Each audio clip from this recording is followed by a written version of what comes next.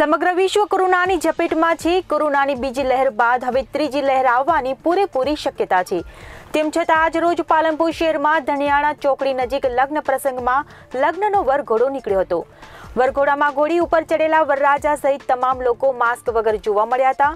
તો બીજી તરફ આ વરઘોડામાં મોટી સંખ્યામાં લોકો માસ્ક વગર અને સોશિયલ ડિસ્ટન્સ જાળવ્યા વગર નાચતા જોવા મળ્યા.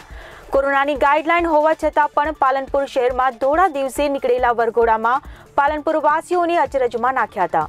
જાહેરમાં વરઘોડો નીકળ્યો હોવા છતાં પણ પોલીસ તંત્ર અજાણ હોય તેવું લાગી રહ્યું હતું. ત્યારે કોરોનાની ત્રીજી લહેરને આમંત્રણ આપતા આવા જાનૈયાઓ સામે પોલીસ હવે કેવા પગલાં લે છે એ આવનાર સમય બતાવશે. પરંતુ અત્યારે પાલનપુર શહેરમાં નીકળેલા ધોળા દિવસે વરઘોડાને લઈ શહેરમાં અનેક તર્ક વિતર્ક જોવા મળી રહ્યા છે. દીપક પુરબિયા સાથે ખબર ગુજરાત લાઈવ બનાસકાંઠા.